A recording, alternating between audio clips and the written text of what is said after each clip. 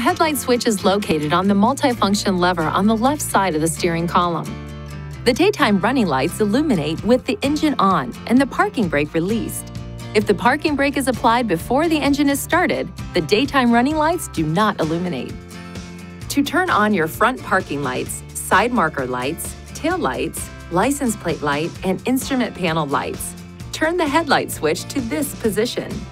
To turn on the front headlights, turn the switch to this position. All the other lights will stay on. To turn on your high beam headlights, push this lever forward. You'll see a blue indicator light illuminate. Pull it back towards you to return to low beam. The blue indicator light will turn off. To make your high beam headlights flash on and off, pull the lever toward you and release it. Fog lights create a wide beam pattern, focused lower than the headlights. This minimizes reflected light and helps you see better in foggy conditions. If your vehicle is equipped with fog lights, here's how to activate them. To use the fog lights, your headlights must be on and low beam selected. Move this switch to this position and your fog lights will come on. Move the switch to the off position to deactivate the fog lights.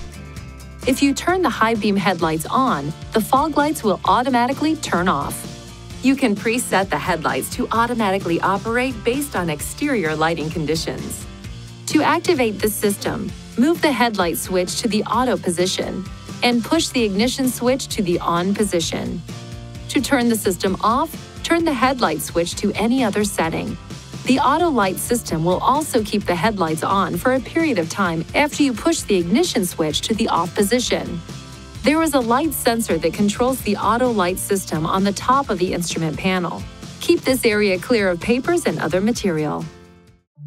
Please see your owner's manual for important safety information, system limitations, and additional operating and feature information.